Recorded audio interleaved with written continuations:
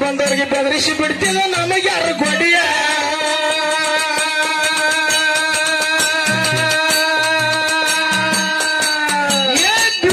ಕಚೇರಿಗೆ ಬೆಂಕಿ ಹಚ್ಚಿ ಹರ್ಷನ ಹುಡಿಯ. ಎದುರಿಗೆ ಬಂದವರಿಗೆ ಬೆದರಿಸಿ ಬಿಡ್ತಿಲ್ಲ ನಮಗೆ ಯಾರು ಗೊಡಿಯ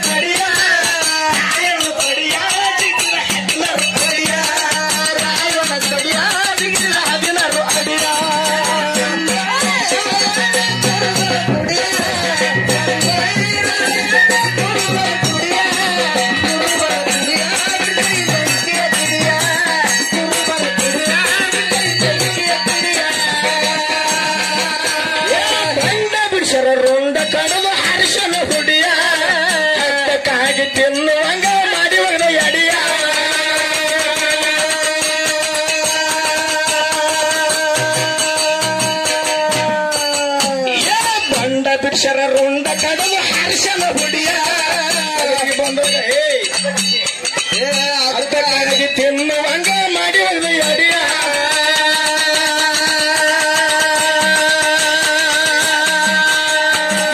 ಒಂದೇ ಎತ್ತಿಗೆ ಕಂಡ ಬಿಡ್ತದ ಹಾಕಿ ಹಾಕಿ ತಡಿಯ.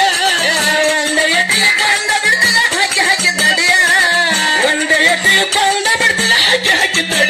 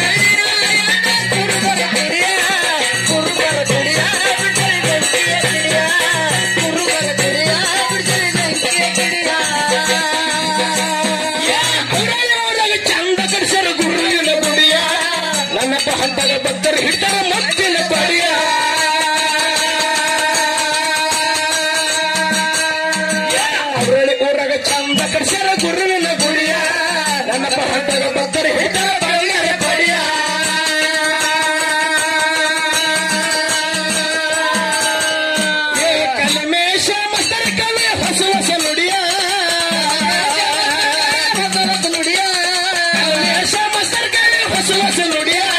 ಹೊಸ ನುಡಿಯ. ಹಾಡಿ ಜೈ ಬೇರಿ ಹೊಡಿಯ. ಹಾಡಿ ಜೈ ಬೇರಿ ಹೊಡಿಯ.